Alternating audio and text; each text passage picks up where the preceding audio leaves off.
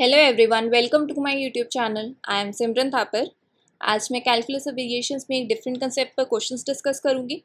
Questions discuss करने से पहले हम कंसेप्ट देख लेते हैं। अब तक हम क्या पढ़ते थे? हमारे पास फंक्शनल गिवन होता था।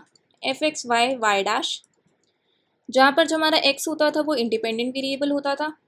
वाई डिपेंडेंट वेरिएबल होता था और वाई डैश इस डिपेंडेंट वेरिएबल का डेरिवेटिव होता था।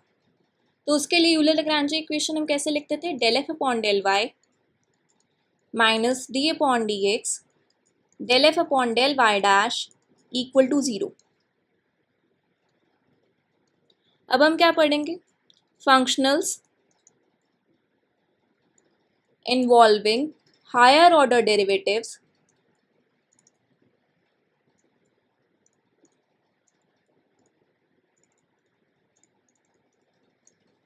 of dependent variables.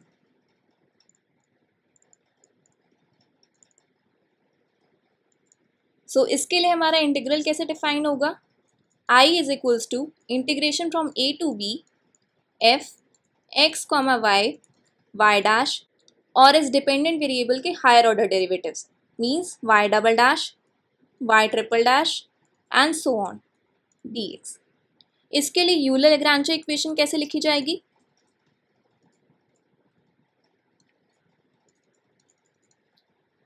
Del F upon del Y minus D upon D X del F upon del Y dash plus D square upon D X square del F upon del Y double dash minus D cube upon D X cube del F upon del Y triple dash and so on equal to zero इसको याद रखने का simple way ये है कि इसके बीच में plus minus alternate sign चलेंगे।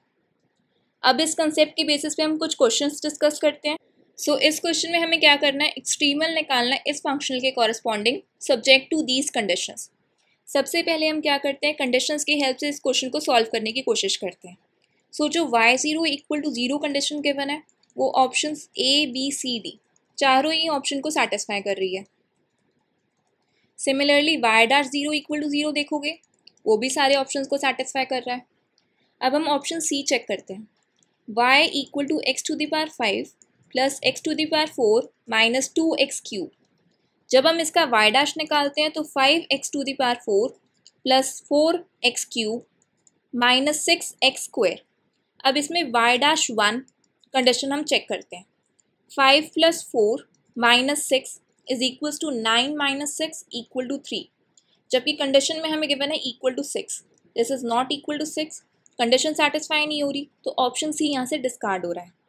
सिमिलरली हमने ऑप्शन डी चेक करा तो X to the power six plus four X cube minus six X square इसका भी वाई डैश निकालते हैं। इसमें जब हम वाई डैश वन निकालेंगे, वो तो सिक्स आ रहा है बट वाई वन निकालते हैं तो वो हमारा आएगा one plus four minus six that is minus one but condition में हमें गिवन है कि वो इक्वल टू ज़ीरो आना चाहिए था। This is not equal to zero. तो ये ऑप्शन भी हमारा यहाँ से डिस्कार्ड हो गया। अब ऑप्शन ए और बी के लिए हमें क्वेश्चन सॉल्व भी करना होगा। सो so, ये हायर ऑर्डर डेरिवेटिव है तो इसके लिए इक्वेशन क्या होगी? Del F upon del Y minus D upon D X del F upon del Y dash plus D square upon D X square del F upon del Y double dash equal to zero हमारे पास functional क्या given है? Seven twenty X square Y minus Y double dash square.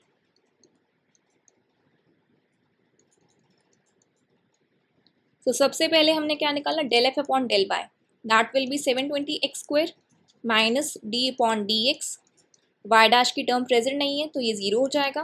Plus d square upon d x square. Del f upon del y double dash, यानी कि minus two y double dash equal to zero this implies seven twenty x square minus two y to the power four equal to zero simplify करा तो y to the power four is equal to three sixty x square आ गया हमारे पास. अब हमारे option कौन से बचे हैं?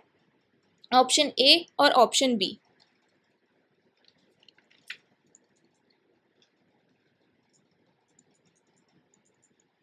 इसको अगर मैं फर्दर इंटीग्रेट करूँ तो मेरे पास क्या आएगा? y two three is three is equals to 360 x cube by 3 plus c1 that will be 120 x cube plus c1 again integrating y double dash is equals to 120 x to the power 4 upon 4 plus c1 x plus c2 that will be 30 x to the power 4 plus c1 x plus c2 एक और बार integrate करा y dash will be 30 x to the power 5 upon 5 plus c1 x square by 2 plus c two x plus c three. So finally यहाँ से y क्या निकल के आ जाएगा? Six x to the power six by six plus c one x cube by six plus c two x square by two plus c three x plus c four अब यहाँ से हमारे पास जो ये टर्म है x to the power six आ रही है। ऑप्शन ए और बी उसमें हमने जाके देखा तो सिर्फ़ ए ऑप्शन में हमारे पास x to the power six term है। तो यहाँ से ऑप्शन बी भी हमारा डिस्कार्ड हो गया। So from here answer is option A let us discuss next question so इस क्वेश्चन में हमें फंक्शनल गिवन है कंडीशंस गिवन है और एक्सट्रीमल फाइंड करने के लिए बोला हुआ है। सोल्यूशन देखते हैं। इस क्वेश्चन में पहले हम कंडीशंस ही अप्लाई करते हैं। Y zero equal to zero आप देखेंगे तो वो option A B C D चारों ही ऑप्शन सेटिस्फाई कर रहे हैं। Y one equal to zero देखेंगे।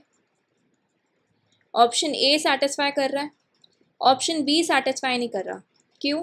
क्योंकि y one equal to five plus seven that will be twelve option C देखेंगे, वो भी सेटिस्फाई कर रहा है। ऑप्शन डी भी सेटिस्फाई नहीं कर रहा because y one is equal to five minus three equal to two this is not equal to zero तो यहाँ से हमारे ऑप्शन बी और डी तो डिस्कार्ड हो चुके हैं। अब हमें क्या चेक करना है? ऑप्शन ए और बी इसमें से हमारा क्या आंसर होगा? Option A and option C option C हमें गिवन है? Y equal to x square minus x upon two इसका हम y डैश निकालते हैं. That will be one upon two two x square minus one अब हमें condition कौन सी check करनी है? वाई डैश ज़ीरो वो हमने चेक करा तो one upon two minus one यानी कि माइनस वन अपॉन टू आ रहा है। और वाई डैश ज़ीरो हमें किसके इक्वल गिवन है? वन के इक्वल ये वन के इक्वल नहीं आ रहा। तो ऑप्शन सी भी यहाँ से डिस्कार्ड हो गया। तो इस क्वेश्चन का जो आंसर है, वो ऑप्शन ए बन रहा है। कंडीशन से ही हमने इस क्वेश्चन को चेक कर लिया। नेक्स्ट क्वेश्चन डिस्कस करते हैं। अब इस क्वेश्चन में भी हमें एक्सट्रीमल फाइंड करना है, इस फंक्शनल के corresponding which satisfies the boundary conditions अब इस क्वेश्चन में कंडीशंस हमारे जो सारे के सारे ऑप्शन सेटिस्फाई करते हैं तो कंडीशन से तो हम किसी भी ऑप्शन को डिस्कार्ड नहीं कर पाएँगे। तो यहाँ पर हमें हायर ऑर्डर डेरिवेटिव के corresponding Euler Lagrange equation apply करनी पड़ेगी which is del f upon del y minus d upon d x del f upon del y dash plus d square upon d x square del f upon del y double dash equal to zero हमारे पास functional क्या define है? Lambda y plus one upon two mu y double dash square इसको apply करते हैं। So so, यहाँ से हमें मिलेगा lambda minus d upon d x del f upon del y dash y dash की कोई टर्म फंक्शनल में प्रेजेंट नहीं है तो ये टर्म ज़ीरो हो जाएगी। Plus d square upon d x square del f upon del y double dash one upon two mu two y double dash equal to zero two यहाँ से cancel हो जाएगा और हमें सिंप्लीफाई करके मिलेगा lambda plus mu y to power four equal to zero which will be y to power four equal to minus lambda upon mu अब यहाँ से हम क्या ऑब्ज़र्व करें कि जो हमारे ऑप्शन ए और ऑप्शन डी है ऑब्वियसली यहाँ पर दोनों में ही एक्स स्क्वेयर है। एक्स स्क्वेयर का अगर मैं एक बार डेरिवेटिव करूँ तो टू एक्स आता है। दो बार डेरिवेटिव करूँ टू आएगा। थर्ड टाइम डेरिवेटिव करूँगी तो वो ज़ीरो हो जाएगा। फोर्थ टाइम भी ज़ीरो हो जाएगा। तो इसको तो वो सेटिस्फाई नहीं करेगा। तो यहाँ से हमारे ऑप्शन ए और डी तो डिस्कार्ड हो रहे हैं। और ऑप्शन बी और सी को चेक करने के लिए मुझे इसे फर्दर सॉल्व करना होगा। सो so, एक बार इंटीग्रेट करा तो y to the power three minus lambda upon mu x plus c1. Again integrating y double dash is equals to minus lambda upon mu x square upon 2 plus c1x plus c2. Again integrating y dash is equals to minus lambda upon mu x cube upon 6 plus c1x square by 2 plus c2x plus c3.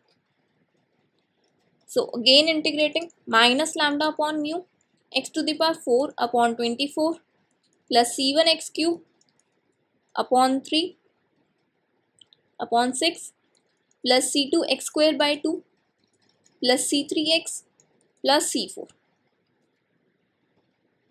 So यहाँ से जब हम options देखें तो हमारा option B correct आएगा क्योंकि minus lambda upon twenty four mu यहाँ पर आ रहा है आप इसको ओपन भी करेंगे तो x square minus a square का square x to the power four plus a to the power four minus two a square x square इस तरीके से हमारे पास आएगा ये। तो ये minus lambda x to the power four upon twenty four mu ये टर्म हमारे पास आ रही है। तो इस वजह से यहाँ पे आंसर बनेगा ऑप्शन बी आप लोग कैलकुलस ऑफ़ वेरिएशंस की प्लेलिस्ट भी जाकर देख सकते हैं। Thank you for watching my video please like share and subscribe my channel.